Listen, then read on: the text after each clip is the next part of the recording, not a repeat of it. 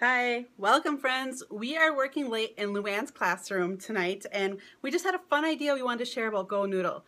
Do you Go Noodle in your classroom? We do. Um, I got these amazing white headbands. From Amazon. They weren't too pricey. Um, and so we came up with this great idea. So all you have to do is give your students each their very own white headband and let them decorate it however they want.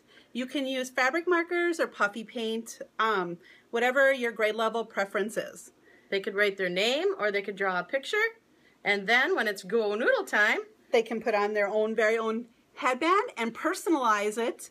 Make it more fun. Make Go Noodle more fun because the brain breaks are the best for your classroom.